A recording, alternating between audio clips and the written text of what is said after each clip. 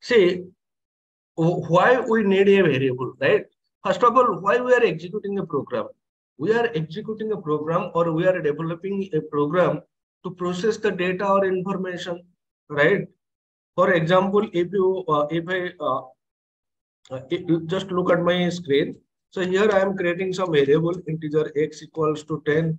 I'm creating some variable integer y equals to 20. I'm creating some uh, uh, result kind of variable and I'm here writing x plus y. And here I'm printing the value of the result, right? So if you look at this, so, so when I'm executing this program, right? So what exactly I'm doing? So I'm processing some data or I'm processing some information. What is the data here? The data is 10. The data is 20. And or the information is I'm adding these two data and I'm having some information and I'm displaying those information in the output screen.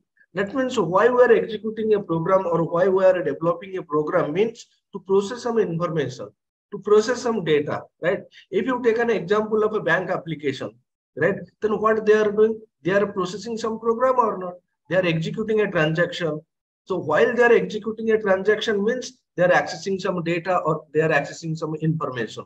What data and what information they are accessing? Suppose you are doing one online uh, net banking, right? So they will access your uh, account number, they will access your name, they will access your uh, account balance, right? If you are uh, sending some amount, then they will deduct the amount from your uh, balance, right? And they will add that amount to the destination uh, account holder, right? So this is nothing, some uh, processing, some information they are processing, right? So that means if you are developing an application means to do some kind of a processing. What we are processing here, we are processing data or information, right? And in order to process the data and the information, we need to store those data and the information somewhere in the memory or not. For example, if I'm running this application, so this data 10 and 20 and result should be stored somewhere in the RAM or not? Yes, it, it should be stored in the RAM memory, right? If you look at my task manager, right? So currently, uh, uh, uh, one of my application is executing, right? What is the name?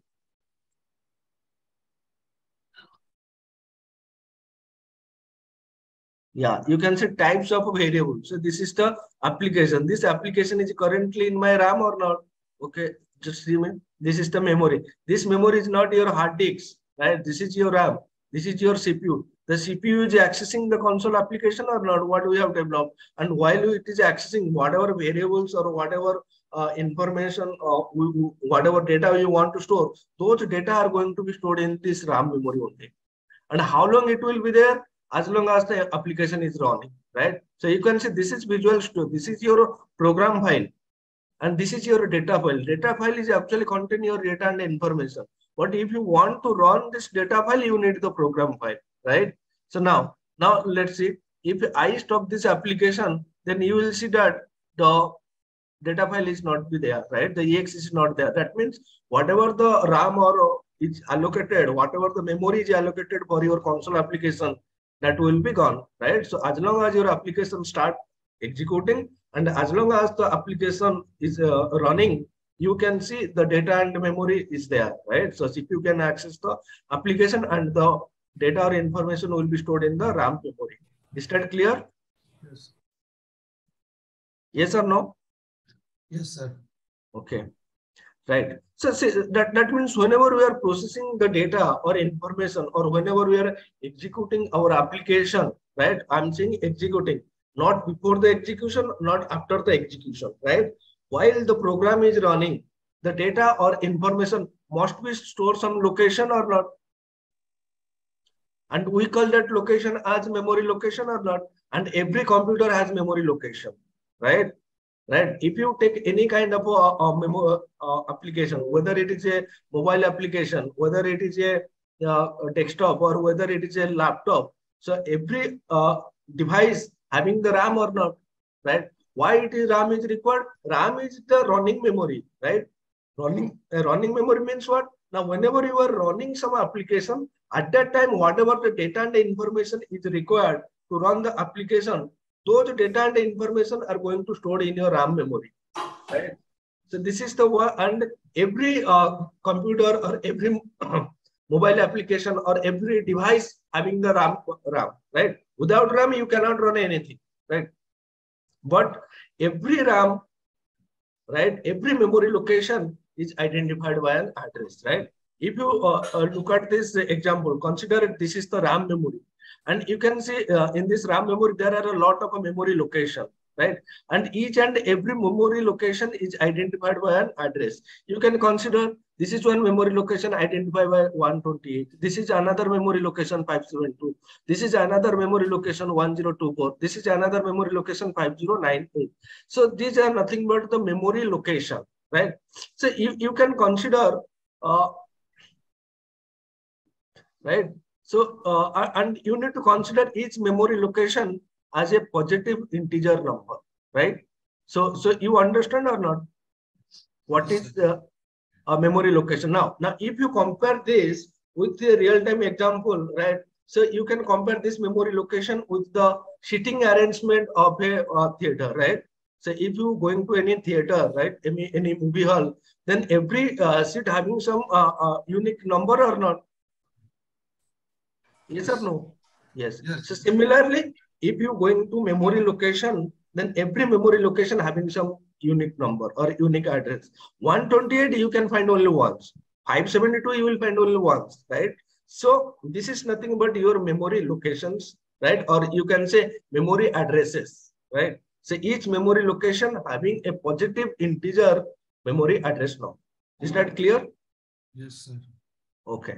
Now, now, uh, now you understand that uh, we have RAM memory and whenever we are running the application, whatever the data and information required for the application, those data and information are going to be stored in the RAM memory and inside the RAM memory, there are a memory location and in and each memory location having some unique addresses and in that particular memory location, we are going to store the data.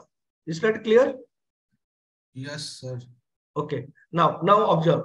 Suppose you want to store uh, 10 10 is a data, right?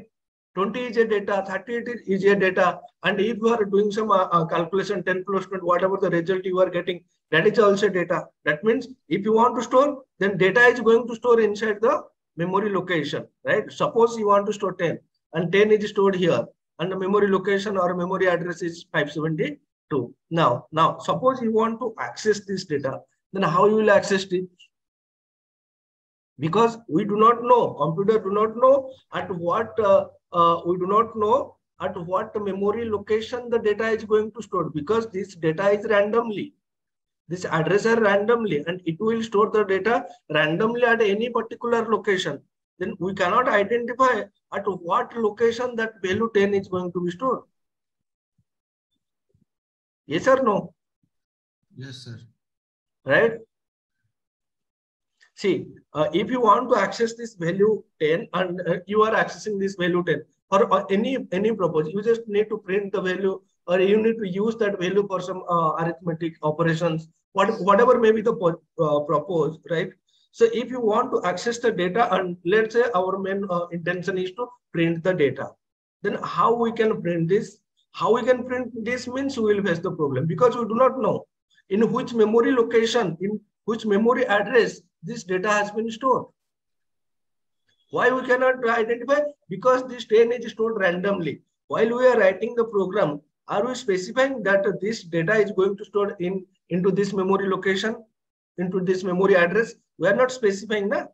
So whenever we are storing the data, the data is going to store randomly to any particular memory location, right? So we cannot identify or we cannot say if this data is going to store in 572 of memory address or it's going to store into 5098 memory address. We cannot identify this. The data is going to store randomly at any particular memory location. Right? Right. So, so, so here accessing the memory location becomes very difficult after storing the information. So what we should do before storing the information, we need to set the identity to the memory location, right? What we need to do? We need to set the identity to the memory location. So to this memory location, if we set one identity, yeah, this memory location identity is A, right? Then later, if we want to access, we can access it easily or not.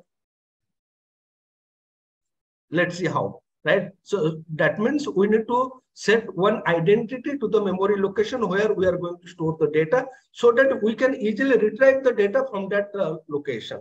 See, if you want to set the identity to the memory location, then you need to use the concept called variable, right? If you want to set the identity to the memory location, then you need to use the concept called variable. How to set the identity? You need to use the concept called data type and identifier. For example, integer A.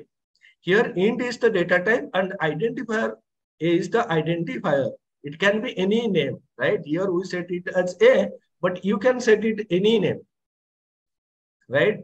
So see, now, now observe. Suppose uh, I, I'm creating one identity integer A. You can see I'm creating one identity integer A. It means what? Now it will allocate, uh, it will occupy four bytes of memory in the computer RAM and it will provide that address identity as A. You understood or not? So this memory location size is 4 byte because here we are creating integer A. Now A is nothing but an identity or identifier you can say given to a particular memory location. In this case, we are giving A to a particular memory location whose address is 10344 and we can identify or we can identify this memory location as A.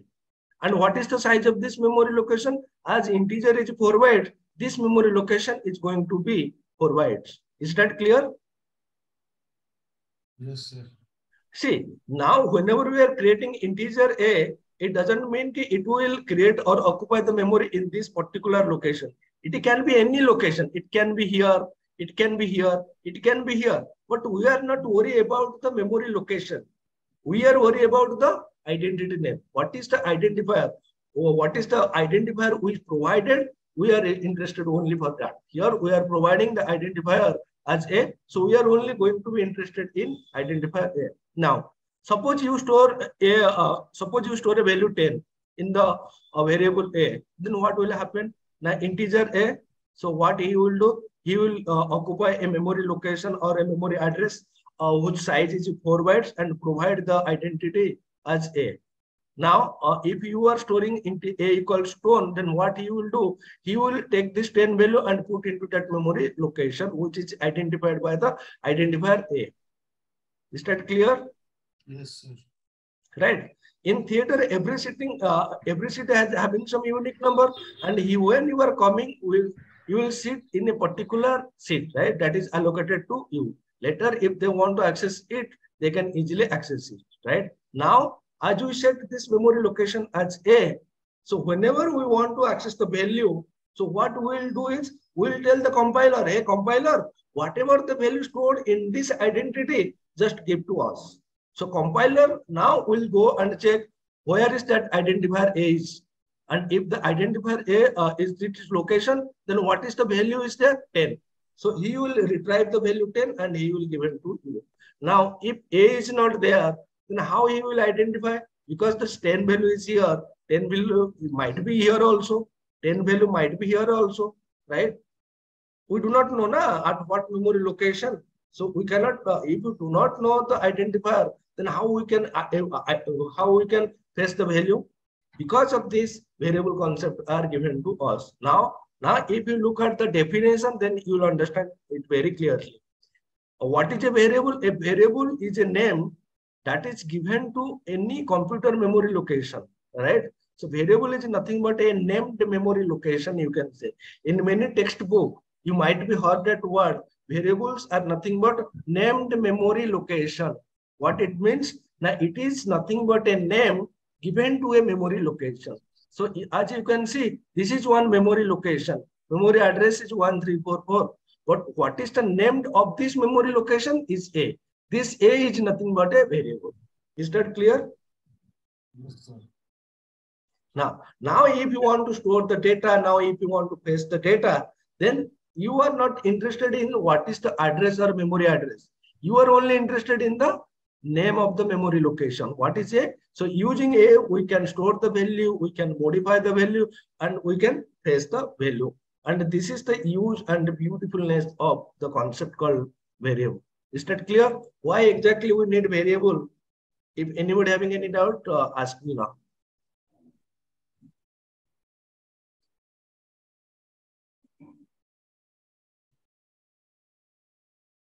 Any any question from anyone?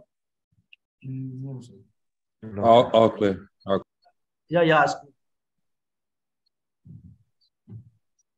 No question. Okay, fine. Right. Now, uh, now uh, some of the basic things uh, which you should know before actually start working with variable. So, what is the role for variable declaration? So, these are the uh, theory I have written. A variable name must begin with a letter or underscore. Variable in C sharp are case sensitive. They cannot be constructed with digits and letters. No special symbols are allowed other than underscore. Some hide. These are some of the examples, right? So variable can start with underscore, right? It is acceptable, right? Uh, variable cannot start with the digits, uh, cannot start with the digits, but it can be, uh, digit can be start with after the end, right?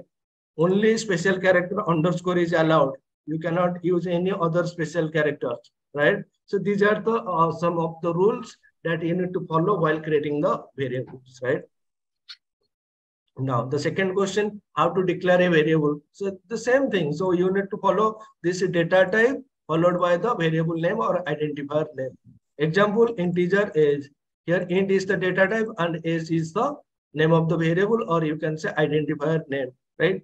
Then how to initialize a variable? You can initialize the variable at the time of declaration or even if you want, you can split the uh, declaration and initialization into two parts. For example, okay, let me, so here I'm declaring like this.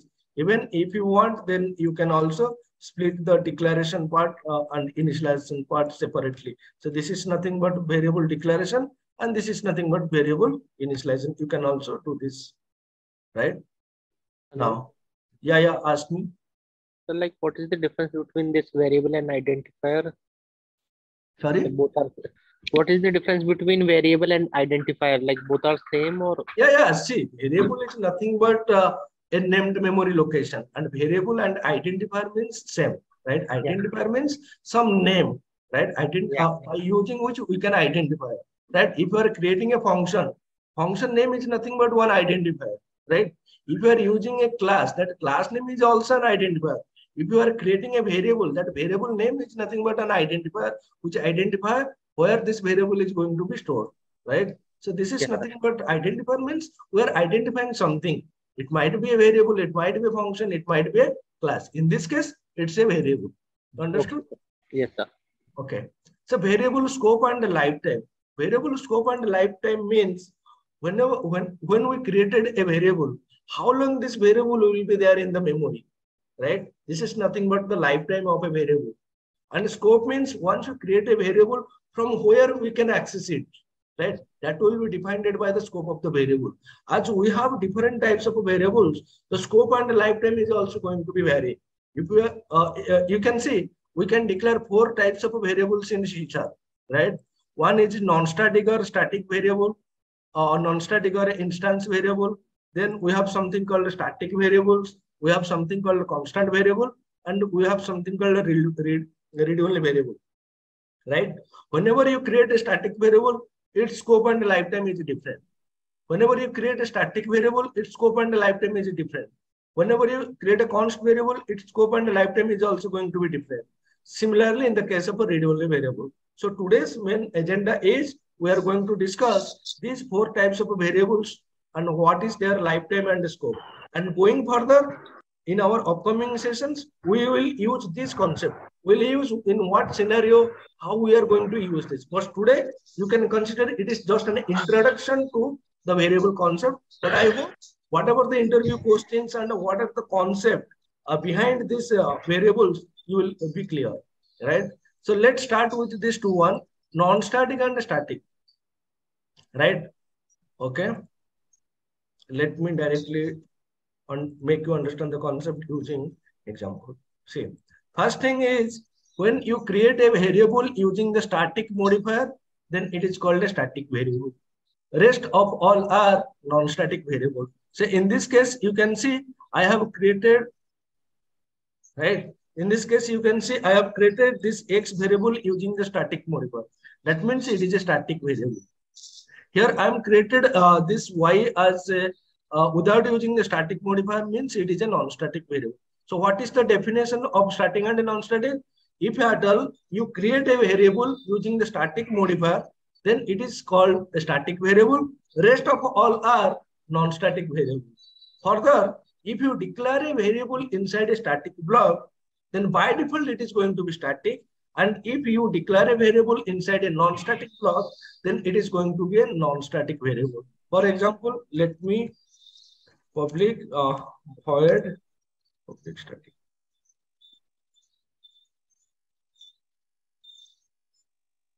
Some block.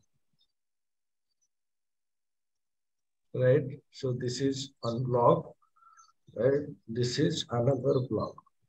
So integer a and here I'm declaring integer p, right? So some block uh, 2 and this is some block 1. See, here I have two block, right? So you can see here I have two block and this is a static block and this is a non-static block. If you declare any variable inside a static block, so it is going to be static by default. No need to use the static modifier. And if you declare a variable inside a non-static block, by default, it is going to be non-static, right? Is that clear or not? What is a static variable? What is a non-static variable?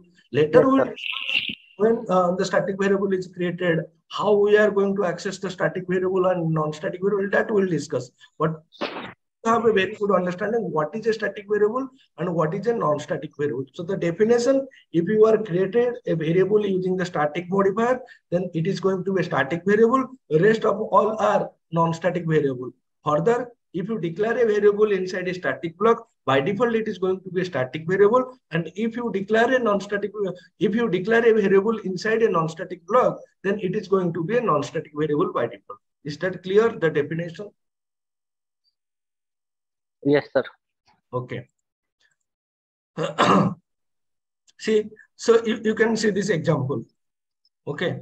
See, uh, here we have declared the variable x as static, so it is a static variable. The y is a non-static variable and z is a static variable, right? So you can see here z is also going to be a static variable. Can anybody tell me why z is static? Because the like method is declared as static. Because, because main method is itself It's a static. because main method is itself a static that's why z is also go- going to be static clear Yes, sir. okay now now let us do some uh, uh now let us write some code and now let us try to print the value. Okay. See uh, here i'm creating one uh, static variable x with value 100 and here i'm creating another in uh, non-static variable with value 200 now if i want to access the static variable i can directly access like this. Now if i uh, execute this program then you will see that x value is 100 is printed there. Now can i do the same thing uh, for the variable y can i print the variable y like uh, like this no you cannot you cannot print the y value like like this can I, anybody tell me why Because it's not static and it should be taken by using creating instance of that class. Yes, yes, absolutely right. Because we cannot access the y value here because the memory memory is not allocated for this y value. We are accessing the x value because the memory allocation is already done for the x value. See, as long as the memory is uh, not allocated for any variable, you cannot access this, right? For x, the memory allocation is done, but for y, the memory allocation is not done. As the memory allocation is not done for the variable y, we hmm. cannot access the y variable, right? Then the question is that, sir, when the memory is allocated for x variable, when the memory is going to be allocated for the y variable? See, the point that you need to remember, as soon as your class starts execution, the static variables are initialized. As soon as your program, as, as soon as your class start execution, the static variables are going to be initialized. So from when you start, uh, so when you run this application, the application is going to start from the main method or not? So this main method is a part of this program class or not? And this static variable belonging to this program class or not? See, that means when it start the main method execution, before executing this line of code, what he will do, he will allocate memory for this variable. Understand or not? Yes, sir. And it will only uh, and it will allocate memory for the static variable only once during the lifetime of a program or lifetime of a class. For this program class, right? It will allocate memory for the static variable only once, right?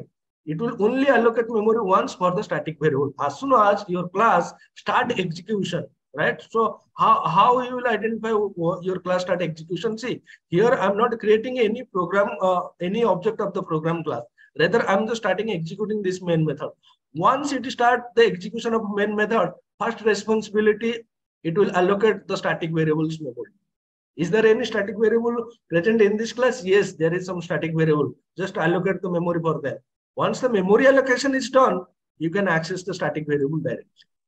But we cannot access the non-static variable because the memory is not allocated for the non-static variable. Then when the memory is going to be allocated for the non-static variable, now when we create an instance of the class, then only the memory is going to be allocated for the non-static variable and for each instance, right? If you are creating, uh, once you creating an instance, then only it is going to allocate the memory for this uh, non-static variable. Then how to create an instance? That, we'll discuss in detail later. But for now, so what is the syntax? Now you have to write a program. Then you can give any name. Then using a new operator and the constructor of the class, we are going to create the instance. So this is nothing but your object creation statement, right? So when you use the new operator, the responsibility of the new operator is to initialize or to the memory location, right? The new operator is going to provide or is going to allocate memory for the non-static variable, right? Then you will ask me, sir, what is the use of a constructor? See, here you have two things. What will be the identity y, uh, what ID int y will do? It will allocate. If you look at my example, right? It will, uh, so this int a means it will allocate some memory, right? Uh, and provide a identity. The same thing, this what, what I'm showing you here, this thing is done by the new keyword. It will allocate some memory and it will give a identity to that memory. What is the identity? This one, right? Then what is the role of this program or you can say this is constructor. The role of a constructor is nothing but the second statement what I have shown you here. It will store the value into that memory location. That means here memory is allocation done and here the initialization of the va- uh, variable is done, right? So you need to understand the two things. Both are not uh, same. Both are two different things. First of all, new is there to allocate the memory location and setting the identity. What is the role of this program? Program is there to initialize the data member, right? Initialize the data member means if you are initializing like this, so it will store 200 is there. And if you have not initialized this data member, and if you are simply putting integer y, it means it will initialize that y location with the default value of integer. What is the default value? The default value will be zero, right? So once you create the instance, then you will uh, access that instance like this. Now you can see, now observe. So here, what should be the y value it should print? It should print zero because we have not initialized this y member with any additional or external value. So what is the default value? Default value is zero. So it should print zero. Now, so it is printing zero or not? Now, instead of y, what I can do, I can uh, store some uh, data. Let's say 200. So now, so in that particular memory location, when the constructor is executed, so it will check what is the is the y value is initialized with some value. Yes, it is initialized. Then whatever the value it is uh, is there, just put into that memory location. In this case, it will store 200 into this memory location, right? And when you say obj.y, so whatever value is there in the y memory location, then it will print that value. So in this case, it is going to print 200. Is that clear or not? Yes, sir. So now you understand what is the use of new and uh, what is the use of this construct. See, uh, going further, we are going to discuss constructor in detail. What is a constructor? How a constructor is executed? What are the different kinds of constructor? Right? What is the role and responsibility of a constructor? What is constructor overloading? What is static constructor? What is private constructor? What is the constructor execution of order? Right? Uh, if we have parent-child relationship, then which constructor is going to execute first?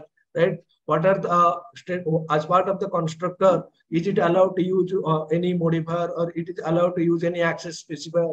What are the statement as part of the constructor we can write and we cannot write? Everything we are going to discuss in detail in our constructor right? If you look at the syllabus constructor i think four or five sessions uh, five chapters are there for constructor only. But for now you just need to remember this new keyword is nothing but it is going to uh, initialize the memory location and this program constructor is nothing but it is used to initialize the variable. This new uh, uh, when uh, the new uh, responsibility is based on the uh, data type, it will allocate memory and it will provide that identity to that data type, right? Uh, to that memory location. And when the constructor is executed, whatever value it is the variable is initialized with, it will put that value into that memory location, right? Is that clear or not? But this thing is not required in the case of a static variable. Why? Because static variables are automatically created. Only one time they are going to be created. When they are going to be created? When the class execution starts. And when the non-static variables are going to be created? Non-static variables are going to be created when we create an instance of the class and for each instance. Right? Is that clear or not? Yes. Okay right? And, and, and if you try to access this without creating object, then what you will see? Okay, let's see. If I'm trying to access like this, then uh, let's see what error we are getting. See, an object reference is required for non-static field method and property. What it is saying, now if you want to access a non-static field like y or non-static method or non-static property, right? What is method property? We are going to discuss in our coming session. But for now, if you want to access any non-static field, an object reference is required. Without object reference, we cannot access any non-static member. So how to create object reference? We can create object reference like this program. You can provide any name, then using new and constructor, we can create the object reference. And using the object reference, we can use like this. So here obj is nothing but it is a reference variable which pointing to this object, right?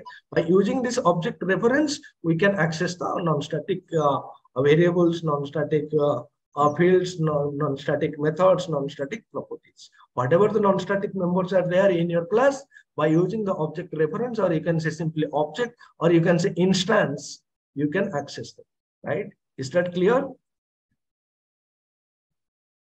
Yes, Yes. Now, so the first point that you need to remember is while working with the static and non-static variable, static members of a class does not require the instance of a class for initialization and execution. Does uh, uh, does this static member require the class uh, class instantiation? Is it required to create a uh, create an instance or object of the class in order to access this X variable? No. So object is not required either for initializing or for accessing, right? So object is not required. The second point, what is saying? Okay, non-static, okay. Whereas non-static members of a class require an instance of a class for both initialization and execution. But if you want to initialize or if you want to access, then you need object, right? So when this statement is executed, it will provide the memory location, it will initialize the data member, and even uh, once after initialization, then if you want, then again, if you want to access them, then also you need the object, right? That means for object initialization and for object uh, accessing the data member, you need the object, right? But this is not required in the case of static variable. Is that clear at this point? Yes. Okay, now, now the question, when static and non-static variables are initialized in C sharp, right? It's very already discussed. Static variables of a class are initial immediately once the execution of the class start, whereas non-static variable or see, whenever I'm saying non-static variable, it is same as instance variable, right? Non-static variables alternative name is instance variable. So if I'm saying non-static or if I'm saying instance, meaning is going to be same, right? See, static variable initialized immediately once the class execution starts. Non-static variable initialized only after creating the class instance, as well as each and every time the instance of the class is created, right? What it means now, when, whenever uh, your class execution start, it is guaranteed that your static variable going to be initialized, and it is going to it is guaranteed that they are going to be initialized only once. But in the case of a non-static variable, it might be possible that non-static variables are initialized zero time if no instance is created and n number of times if n instance is created. Okay, let us uh, let us Can understand. I, can I ask? Sure, sure, sure. Uh, sir, it means uh, static variables are uh, only initialized in, uh, I mean, uh, RAM memory, no? Yes, yes. Whether it is static or whether it is non-static, right? Once you start the program execution, they are going to be created inside the RAM only. It is also in, uh, the, I mean, uh, uh, static member variables are stored in uh, in main memory also, no, sir? So this RAM is nothing but your main memory, na? RAM is uh, where we uh, run our program, no, sir, actually. Yes, yes. See, whenever I'm running here, see, if you go to the, uh, uh, if you go to open your task manager, so you can see these applications are currently running, right, in Yeah. my machine. So this application or whatever data uh, uh, or whatever memory they want, they can uh, access or they, they want uh, for accessing or for executing this, the memory is going to be allocated in the RAM. So what the RAM memory, uh, what the memory it is showing here, it is nothing but your RAM Yes, sir. right? So you can see uh, this CPU memory. So this memory is nothing but your RAM only. So this 8 GB or to 11 out of 11.8 GB, 8 GB are used, right? So this is your RAM memory. So whenever see if you are storing a file permanently on your hard disk, that is going to be your hard drive or hard disk, right? But if you are performing some application, if you want to execute, see currently uh, uh, I'm not executing this code, right? You can see nothing is there. But once I start executing this application, so what is the what is my project name? Types of variables, right? Let's see. I start executing this application. Then immediately you will see that that the exe file is loaded here. Types of variables. This this is loaded inside the computer RAM memory only. If it is loaded into the computer RAM memory only, or you can say primary memory, right? Or you can say main memory, then whatever variables I'm going to be created as part of this program, they are also going to be created inside this RAM memory only, right? Once your program start execution and once the the uh, uh, it, it, once you start the execution, static variables are created guaranteed, right? They will occupy uh, some memory inside this uh, RAM, right? But non-static, they might be created zero times or they might be created uh, n number of times. But if they are going to be created, they are also going to be created inside RAM memory. Again, going further, I will discuss what is the use of a stack memory, what is the use of a heap memory. If you are creating a static variable where it is going to be created, if you are going to cre- uh, create a non-static uh, uh, non-static variable, then where this non-static memory is going to be allocated, right? Those Yes. things we are going to be discussed in our upcoming session. But Okay, for now, just uh, uh, focus on if you are creating some data, uh, if you are creating some variables in your program, then those are going to be created uh, dynamically at runtime inside the computer RAM memory only. And once you stop your program application, then whatever the memory uh, uh, or whatever the memory allocated for this uh, program or whatever the memory allocated for the variables that are present as part of this program, once you stop, then those are going to be destroyed from the RAM memory. Okay, see, currently you can see this one because currently my application is running. So as the my application is running, this memory is allocated inside the RAM. Now observe, I stopped my application, right? As soon as I stop my application, you will see that that EX is not there. That means whatever the memory is allocated, that is also going to be deleted. Yes, sir. Clear. Clear now? Yes, sir. Okay. And as I said, once you uh, once your program execution start, the static memory, uh, static if there is some static variable, the memory is going to be initialized automatically, and that is guaranteed, and that is guaranteed to be initialized only once. But in case of a non-static memory, see now, see now I I, have commented this. Then how many non-static variable uh, is, is the non-static memory allocation will be there once I start executing this program? No the non-static memory will not be allocated. The memory will not be allocated for this integer variable. Why? Because because we are not creating any instance, right? See, uh, at this time, if you run this application, you will get this value. But at this time, the memory is only allocated for this variable. Understand or not? The memory will not allocated for this. Now, Yes. uh, now let's try to uh, uncomment this one. Right? Now, once I execute this program, then memory will be allocated for this one and uh, memory will also be allocated for this one because we are creating an instance of the program class. Once we once this statement is executed, memory will be allocated for this variable, right? So you can say memory is allocated for this one, right? Now, again, if I am uncommenting this one, then once I start executing the application, memory will be allocated for this in, uh, integer variable, right? Uh, give me one minute.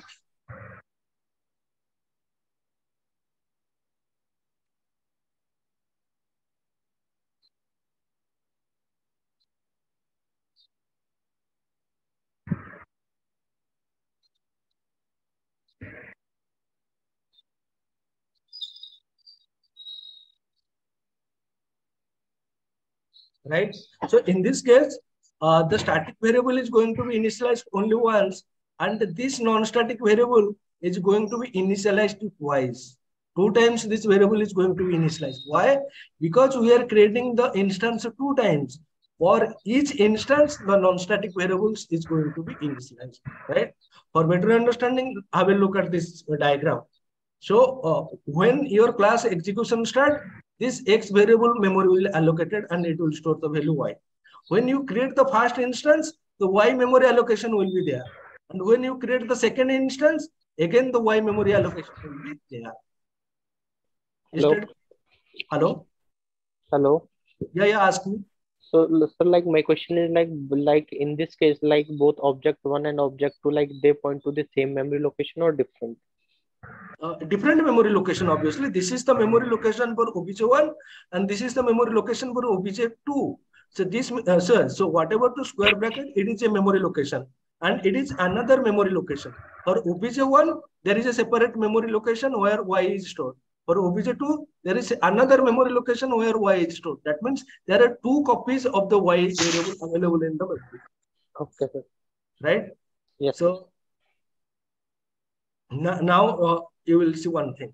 Initializing non-static variables through class constructor, right? As I told you, so uh, in this case, this is nothing but your constructor, right?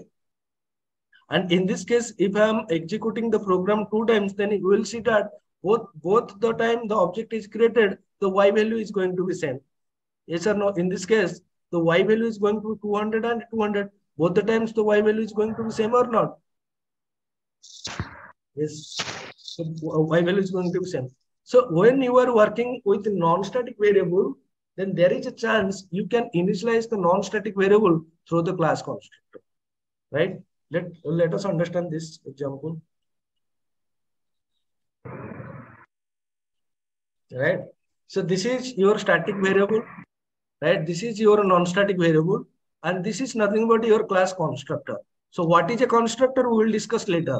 But for now, constructor is a special uh, method or member function of a class that is going to be executed automatically whenever you create an instance of that class. So the constructor name should be same as the class name. And the, you can see the constructor name is same as the class name and there should not be any return type. You can see I have not written integer, void or anything as the return type. You can create a public constructor or private constructor. That, that doesn't matter, right? We'll discuss what is the difference mm-hmm. between them in going further. But now I'm just creating a public constructor. The constructor name is same as the class name, right? The class name. And this constructor, so you can create this constructor as a function. As a function, it can accept any number of parameters. Currently, I'm passing one parameter, and whatever parameter I'm passing, I'm initializing that parameter value with the non-static variable. Is that clear? Yes, sir. Yeah. So oh, in our upcoming session, we will discuss in detail constructor. But for now, uh, you just have to remember it is a function whose name is same as the class name, right? And the main role and responsibility of a constructor is to initialize the non-static data values. See, in our in our example, y is a non-static data member. So I'm initializing that y with the incoming value. So while I'm creating the object, I need to pass a value to this a variable, and whatever value I'm passing, that value will be stored in the y variable. See, so this is nothing but our first object creation statement. What value I'm passing here? 300. Then 300 will be sit in which variable? In the a variable. And this 300 will assign to which variable? Y variable. What is y? Y is a non-static variable. In this case, 400 is there. So this 400 value will become to this a variable and this 400 variable will assign to this y variable, right? That means in this case, two objects are created. That means two copies of the y variable will be available. One of the copy will hold 300 and one of the copy will hold 400. Clear? Okay. Let, let, let us see this uh, by debugging mode. See, uh, I- just put a debugger point. You know how to put, so you can just right click and uh, put a breakpoint, right? Or even other ways, you just need to click right click here. It will put a debugger point, right? And one, let's start. So I just start the program execution, and once start, eh, the debugger point will hit. Now I will uh, execute the statement by statement, and I will check you, right? I also put another debugger point in my program class constructor, right? That means if this program, that means I need to prove one point. Now, when this thing is going to be executed, it means it is a, uh, uh, that means it is a method call. So this method is nothing but this method, and I'm calling this method using 300. That means at this statement, if the controller move to this particular location, then I will prove that. Uh, what I will prove that now when I'm creating the object, the constructor is going to be execute, right? So uh, if you want to exe- uh, debug the uh, statement line by line, so you need to enter function plus F10 key. So I'm uh, uh, uh, executing function F10 key. Like, see, this statement is executed. Once this statement line number 17 is executed, you will see that X value is there. X value is 100 in the output or not because this statement execution is completed. Now, now when I press F10, then it's the controller should move Right, controller means you can observe this uh, arrow symbol. It should go from this location to this location. If uh, our understanding is right, right? Right, function F10, right? The controller is come to this location or not? And if you move the mouse pointer over the A variable, then you will see that what is there in A? 300, right? You can see in A, the value is 300. From where you get the value? Now here we are passing 300 whatever value we are passing that will be come to this a variable. Now now if i now if i press f10 once more once more and once more right? The, this method execution completed. Once this method execution uh, completed the controller should come back to this point only because from here we are calling this method. Method execution completed means the controller again come back to this point only. Okay let uh, press f10 once more yeah controller come back to this statement or not that means this part execution is completed. So the memory allocation is done by new keyword and the object initialization is done by this uh, constructor, right? Now you can move to next line. See, once you move to this line, then you can also say what are the things available as part of obj1. Now, now I just uh, move over the obj1 and you can see there is one array. So if I click on that array, you can see y variable is there and the value is 300. That means for this obj1, y is there and the value is 300. Now come to the memory location. For obj1, y is there, value 300 or no? What, what I'm showing in diagram for obj1, this is exactly the same thing here also, here or no? Right? And if you want to see non, uh, if you want to see static member, value x is 100 there. But this is not a part of our, our concern because they are going to be created only once, right? But for this y, we have 300 and this obj1 is the object, right? Now, if I execute this statement, again, the controller will move to this particular location, right? Let's prove this function F10. Yeah, controller come to this point or not. And here you can see A is 400, right? Just uh, once the method execution completed, there's F10, then it will again come back to this point. That means at this point, the this statement is executed. Currently, if you look, this obj2 is null. Why? Because once uh, this statement execution is completed, but yet we have not assigned that reference to this obj2 variable. So once we execute uh, the F10, then it will uh, assign that reference to this obj2 variable. Now, if you look to the obj2 variable, then you will see that y is 400. That means for this obj1, y is 300. For this obj2, y is 400. That means this y having two different memory location or not, two different value or not. But for the static variable, it is x 100. And for this obj1, if you uh, look at the static, then it is also having x 100. That means if you look at the memory location, then you will get a better idea. For x, there is only one copy available because it is a static variable. For y, as we have created two uh, object or two instances of the program class, so two copies of the y variable will be available. One copy storing the value 300 and another copy storing the value 400. Is that clear? Is Yes. that Yes, sir. Yeah. Now, now if you uh, see, see for x value 100, obj y value 300, obj 2 y value is 400. Now, now it might be one question, sir. Is it, uh, sir, is it possible to initialize the static variable through the class constructor? Yes or no? So currently we are initializing the y value. Y is a non-static variable. Is it possible to initialize this x variable value through the constructor? Yes, absolutely possible. Right? That let- let's that also see. Right. Okay. Now, now you can see uh, this is my constructor. This is taking one integer variable. I'm assigning that value to the y variable as well as to the x variable. That means initializing the non-static variable with the incoming a value and initializing the static variable with the incoming a value. Then what will happen in this case? Now, in this case, when the program execution start, it will create the x variable with the value 100. So the first statement, when I print the x value, it will print 100. And at this time, the object uh, will be created. See, okay. See, so first it will store 100, right? Then the object is created. When the object, when the first object is created, so what he will do? He will create the y variable and he will also override the x variable. He will create the y variable with the uh, 300 and he will override the x variable with value 300. That means when the first object is created, object one, this memory location will be created with y value as 300, right? But then it will override the x value. So what is previously there 100? He will override that 100 value with the 300 value, right? Now, so at this time, if you print the x value, so x will give you 300. Now, now for this object, right? Again, we are creating the object, and at this time, it will initialize the a value with the what value 400, and again, and here it will override the x value with 400. Now, if you execute this statement, okay, now if you execute uh, the, the second instance, when the second instance is created, so y uh, variable will be created with 400, but it will override the x value with 400. Why?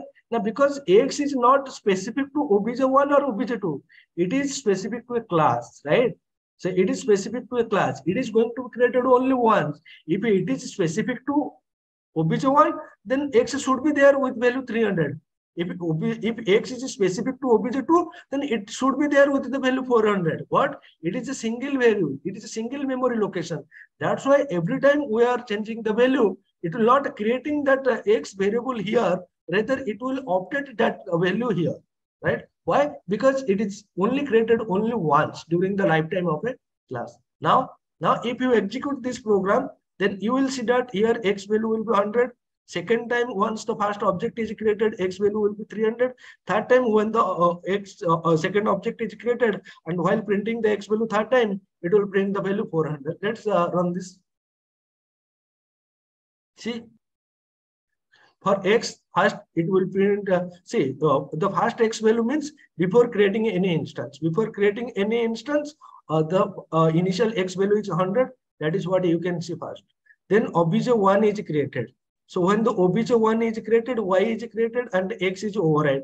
And y is created with value 300 and x is override with the value 300. So you can see 300, 300 here, right? And when the second object is created, y is initialized with 400 and x is override with 400. I'm saying initialize and I'm saying override. So you have to uh, understand this too. So obj2 is 400 and x is 400. Is that clear? Hello? Yes, sir. Yes, sir. Yes, sir. So the point that you need to remember is if you are initializing the static variable through constructor, then each uh, then each time then each time the constructor is executed, it will override the existing value of the static variable. So in general, we never initialize the static variable through constructor. If at all you want to initialize the variable through constructor, then make that variable as non-static. Is that clear? Hello? Hello? Hello? Yes, Sir. Okay, so actually um, my Wi-Fi connection drop out. That's why there is some disturbance, right? So I just read this uh, sim, uh, statement, right? If at all you want to initialize through constructor, then you should initialize only the non-static variables because static variables are not specific to object, right? They are going to be created only once. Then that means they should not be uh, initialized through the class constructor. If you initialize, then every time your uh, constructor is executed, they are going to be overridden, right? Now, then now, uh, what is the difference between static and non-static? So we already discussed. In the case of instance variable, uh, whenever I'm saying instance, you need to understand this is also non-static, right? Each object will have its one copy, whereas we can only have one copy of a static variable irrespective of how many objects we created, right? In this example, you can see the non-static variable having one copy, right? If you are creating two objects, then two copies, but a single copy is available for the X variable, right? Changes made to the instance variable using one object will not reflect in other object as each object adds one copy. In case of a static variable, changes made in one object will reflect in other object, right? You can see if I'm doing some changes using this object, right? Then that will uh, only reflect to this one. It will not reflect to this one. Let us prove this. So currently here we are printing obj1. Now I'm changing obj1 uh, dot y right? Obj one dot y two some 600 value, and here after this execution, you will see that okay, not here. Okay, then you will see that this obj one value is only going to be this.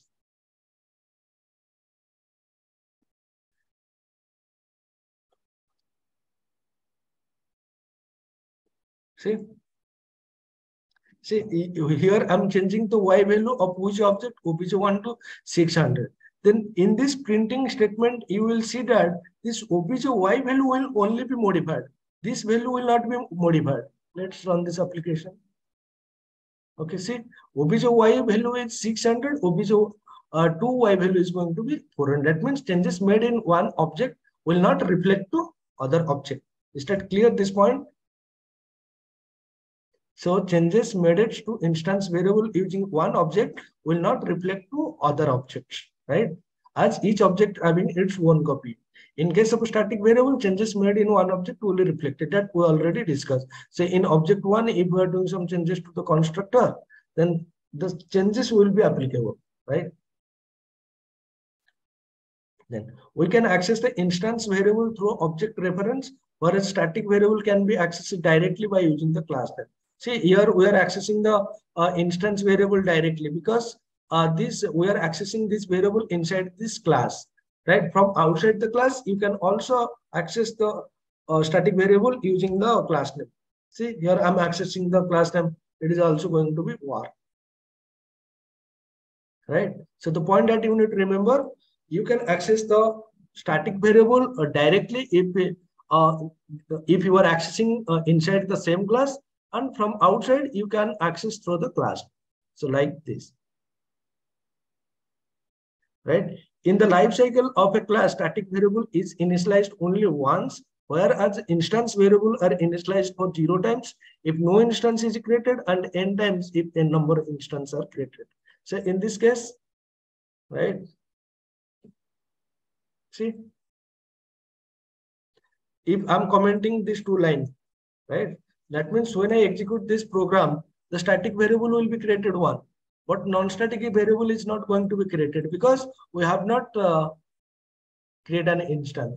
If we create one instance, then one copy of the non-static variable is going to be created. If I create another instance, then another instance or another copy of the y variable is going to be created. Is that clear? Zero times or n times. Is that clear? Yes, sir. Okay. Okay, now instance variables go throughout the class except the static method, the lifetime of a variable until the object is available in the memory. Right? So how long the instance variable is going to be there on as long as the object is there, right? For example, okay. Uh,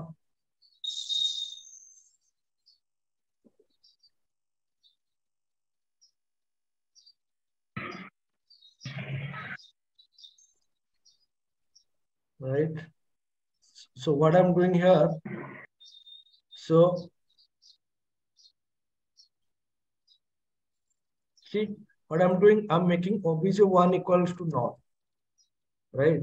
So once I make obj1 equals to null, then I'm trying to access this, right? So in this case, what will happen? Now, at this time, the object is created. Right? And in this statement, the object is destroyed. Destroyed.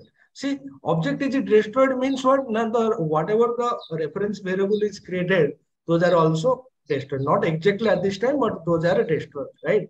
So once the uh, reference variable is destroyed, then if you try to access, you cannot access it. You will get some error. Let's see. So you are getting some error or not? Right? Because the lifetime of an object is what? Now the lifetime of an object is until the object is available in the memory. Right? In this statement, the object is destroyed. Once the object is destroyed, that means no, um, uh, uh, the memory will be destroyed for that particular object, right? Then once the memory is destroyed for that obj1, then you cannot access this y now. You understood or not? Yes or no? Yes, sir. Yes, sir. Yes. So static variable throughout the class until the end of the program. So static variable means you can access static variable here. You can even access static variable here also. So when the static variable is created, when you start the application, when the static variable is going to be destroyed, so I start the application, the static variable created. Okay, let me comment these statements. This is not required. Okay, so as soon as I start the application, the static variable is created. And as soon as I close, so when I'm closing this application, the static variable is going to be destroyed, right? So the until the end of the program. Is that clear? What is the difference between static and uh, uh, non-static? Yes, sir. Okay. Yes. So, uh, constant. Next important variable is constant. See, if you declare a variable using a const keyword, then it is said to be a constant variable. And the value of the constant variable cannot be modified once after its declaration. So it is mandatory to initialize the constant variable at the time of its uh, declaration only. Okay, let us understand this.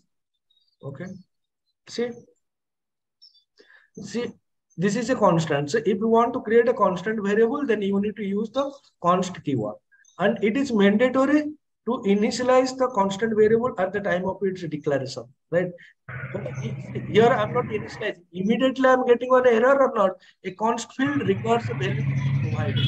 Why it is mandatory? It is mandatory because once the initialization is, once the declaration is done, you cannot modify this value. If you try to modify, then you will get error. Here, PI is 3.14, right? If I try to modify this value, 3.17 F, I will get an F. So what is saying? The left-hand side of an assignment must be a variable property or index. What is there in the left-hand side? It must be a variable or a property or a indexer. But in this case, it is variable, but of type what? Constant. So it cannot modify this, like, right? So constant means you need to initialize the variable at the time of its declaration only. Once you declare the variable, you cannot modify the value of the variable, right? Is that clear? Yes. So, and how Yes, you will create- how you will create a constant? You will create a constant by using the constant. Can anybody tell me why I'm using uh, f here? Float. Sir, float value. Now, if I'm not using float, then what will be the default one? If I remove float, then this- Decimal. sorry, Double. So this- double only. So default uh, for any floating point number is double, right? Yeah, If you want to represent a, this as a decimal, you need to write m. So once you write m, then you will see that you cannot convert decimal to float. And if you want to type f or small f or capital F, then it will become a floating point number. That clear or not? Yes or no? Yes, sir. Yeah, yeah. Yes, sir. Now, okay, now let us write this code. See, here I'm accessing the X value and here I'm accessing the P value. And please remember, I can access the P value directly without creating an instance. I will, show- uh, I will tell you why. The P value I can access directly. You can see P I will be equals to 3.14 and without creating the instance, I can access. Now, can anybody tell me this behavior is similar to static variable or non-static variable? The behavior of a constant variable is similar to static or non-static? Static. Static. Static. Static. Why? Because When we can allocate the access- memory. It's been it's been defined somewhere. directly. Yes or no? We are accessing directly. Then, then you might be, have one question, sir. If the behavior of const variable is similar to static, then why we are using const variable? We can use the static variable, na? Then can anybody tell me what is the difference as of now? What we observe? Like for So static static variable. variable can be modified. Yeah. Exactly. So if you have one static variable, then you can modify the static variable. But if you have one constant variable, then you cannot modify the constant variable. The behavior of constant variable is similar to the behavior of uh, behavior of static variable. That means when the class execution start, the variable is going to be created, and the variable is going to be created only one one time during the lifetime of a program, right? And the second thing, you can modify the static variable value, but you cannot modify the const variable value. So if someone asks you what is the difference between a static variable and a const variable, then you need to tell that. The behavior of a const and the uh, static are going to be same. That means without creating an instance, we can access them. They are going to be created only once during the lifetime of their uh, of a class. But the only one and the only difference between them is that we cannot modify the constant variable value after its declaration. After its declaration, declaration, initialization, two different things. After its declaration, you cannot uh, modify the value, but you can modify the static variable value. Is that clear? Yes, sir. Yes, sir. Okay. Yes. The behavior of a constant variable is similar to the behavior of static variable that is initialized one and only one time in the life cycle of a class and doesn't require an instance of a class for either initialization and execution. Right? This is the example. See, for obj1, one copy of memory. For obj2, another copy of a memory. That means for obj1 and obj2, y is separate. For x, it is only one copy. For pi, it is only one copy. Now, if someone asks you the difference between static and constant variable, we have already discussed, right? We cannot modify, we can modify the static variable value, but we cannot modify the constant variable value, right? So that is what we have already seen. See, here uh, we, we are able to modify the static variable value, but we cannot modify this constant variable value. Is that clear? Yes, sir. Okay. Now, now there is another kind of a variable which is the read only, right? Okay. Let me show you directly with an example. See, whenever you create a variable using the read only modifier, then it is said to be a read only variable. And once you initialize the read only variable, then you cannot modify the value of the variable. Previously in constant, I'm saying at the time you need to initialize at the time of its declaration. And once it's declaration, you cannot modify the value. But this is not the same in the case of read only, right? The declaration and the initialization might be different, right? It is not mandatory to uh, initialize the read only variable at the time of its declaration. If you declare it, it's well and fine. But if you are not declaring it, then it is also well and fine. Even uh, for the read only variable, you can initialize. If you want to initialize, you can initialize through the class constructor, right? You cannot initialize from other places. You can initialize only, see, here you can initialize like this. This is well and fine, right? Even if you want, then you can also initialize that z variable from here also or whatever the value it is taking, you can also initialize it like this, right? See, so if you are not initializing, then also it is going to be initialized by the constructor, right? So the point that you need to remember is the read-only variable behavior is similar to static variables. The read-only behavior is similar to, sorry, the read-only behavior is similar to non-static variables, right? Non-static variables means they are going to be created only when the instance is going to be created. Is that clear? Yes. sir. Okay. Then you can, uh, the difference is that you can modify the read-only variable anywhere. Sorry, you cannot, uh, uh, you can modify the non-static variable from anywhere, but you cannot modify this variable, right? So, see, uh, here you can observe. So uh, I'm creating the two instances. That means for each instance, this y value is going to be created. Again, this z value is also going to be created, right? And at this point, we have not initial, initialized this read-only variable. So if we are not initialized, then what is the default value? Default value is zero. So this read-only variable is initialized with the zero value. Let's run this application. See, we are getting y value as 300, z value as 0, y value as 400, z value as 0. That means the read-only variable behavior is similar to the non-static variables behavior. And, and one more thing, you can initialize the read-only variables through the class constructor. Okay, let's see this.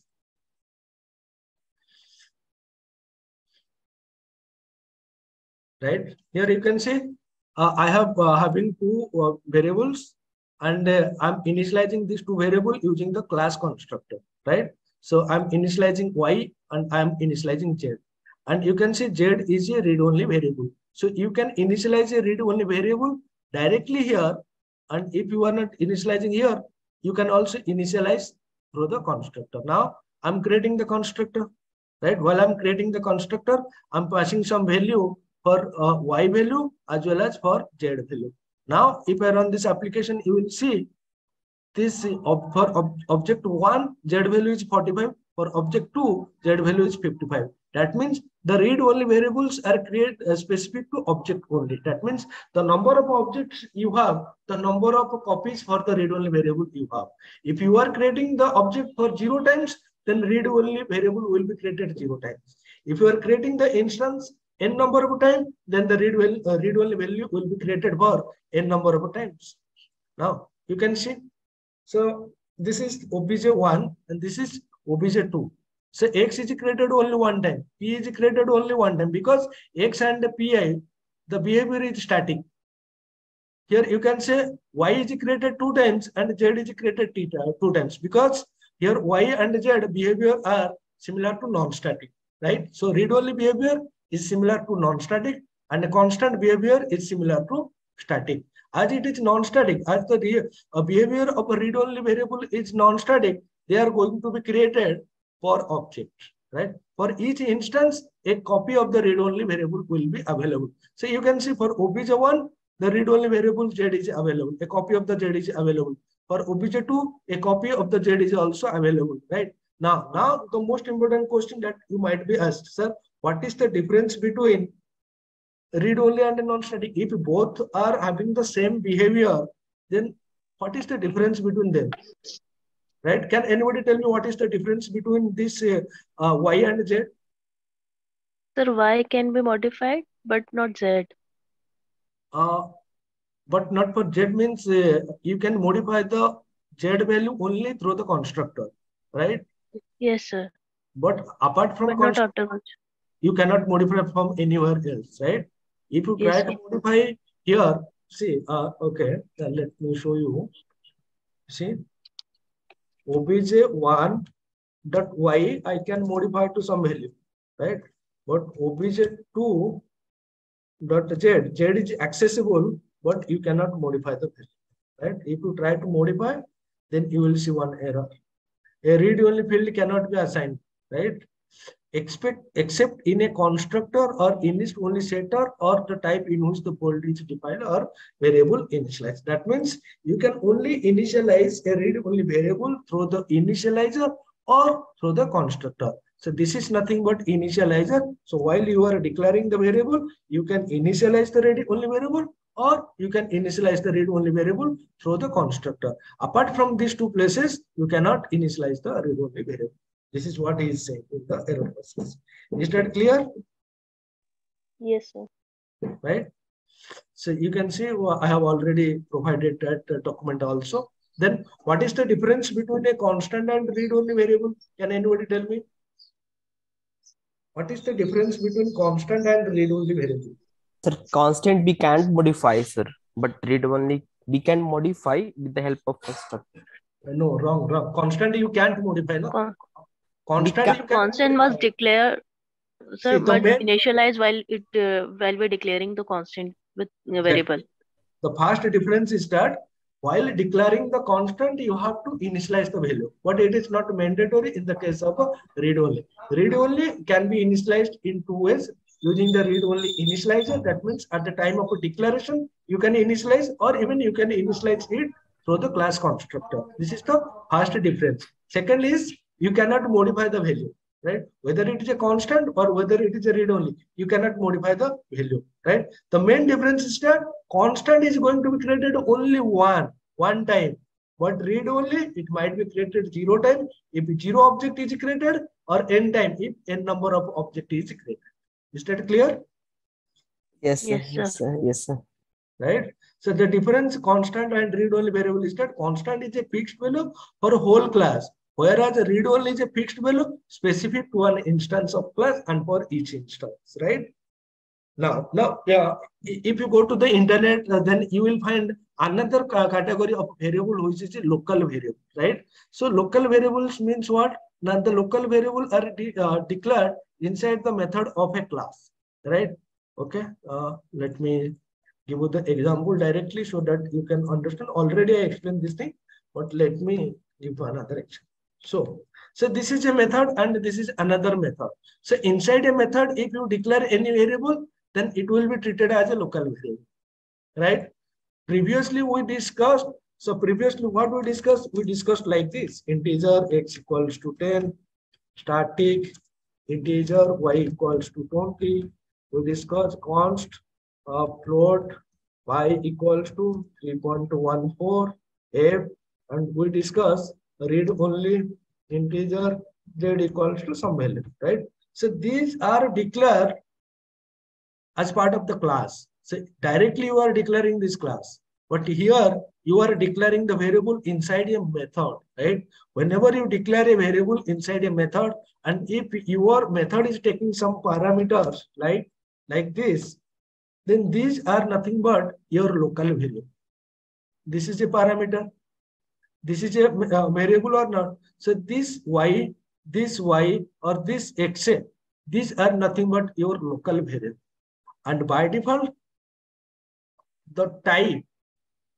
So this local variable type is basically depend on the block or method type, right? You can see this method is a static block. That means whatever variable I am going to be declared or whatever variable uh, this method taking as a parameter, all are going to be static only. And see, this is a non-static block. So whatever variable I'm declaring here, uh, uh, I'm declaring here, or whatever variables this uh, method taking as a parameter, all are going to be non-static only because the variable, the local, the variable which is declared inside a method body, it might be a block, it might be a constructor, it might right, or it might be a function. If a variable declared inside a block, then it is going to be a local variable right? And the type is basically depend on type of the block, right? If the block is non-static, then the variable is going to be non-static. If the block is static, the variable is going to be static. But uh, this doesn't matter at all because this variable is going to be. Uh, see, if this is a static variable, static block, right? This variable is not going to be created as soon as your class starts, right? This is a static block and this is a static variable. But this variable is not going to be created as soon as your class starts. But when you uh, execute your class, this static variable is going to be created, but not this one. Then when this variable is going to be created, when you invoke this method, right? If you are invoking this method, right? Suppose you are invoking this method like here from this place, right? If this once you invoke this method, then the execution will start uh, then the controller will come to this place. When this statement is executed, this memory, uh, the memory for this y variable is going to be allocated. If at all you are not calling this method, that means this uh, function block is not going to be executed. If this method is not going to be executed, then that means this variable is not going to be created. Similarly, if you call this method, then only if this statement is executed. Why I'm saying if this statement is going to be executed, for example, if I'm writing something, uh, if 1 uh, is greater than 10, right, 20, and if as part of this statement, if I'm writing something like this, right, I uh, uh, something like this, uh, this here is there. Okay, if I'm writing something like this, then this statement, uh, even you call this method, this statement is not going to be created or executed. Uh, if this statement is not executed means the variable for the z is not going to be, uh, the memory for the z variable is not going to be allocated because we know one is not uh, one is not greater than 20. That means this condition is false. If this condition is false, this block of statement is not going to be executed. Right? Once the block of statement is not going to be executed means this statement is not executed. If this statement is not executed means the memory allocation for the z variable is not going to be there. You understood or not? Sir. Yes. Okay, and that, that means the variable which is created inside a block, this is a block or inside a method are going to be local variable and there is no guarantee that the memory will be allocated for them, right? And the scope is, and the uh, and see, once the variable is created, once it end, uh, once it end the block, then the variable is also going to be deleted automatically, right? For example, okay, for example, once you start execution of this method, this uh, the memory for this variable will be allocated. Once you complete the execution and you will come back, then the memory which is allocated for this block is also going to be deleted. The scope is limited to this method only. That means the allocation, uh, uh, the memory allocation will be done and will be destroyed once the uh, block uh, completes its execution. And the scope is limited to this method. That means you cannot access this x variable here, right? Or you cannot access this y variable here. You can access this variable only within uh,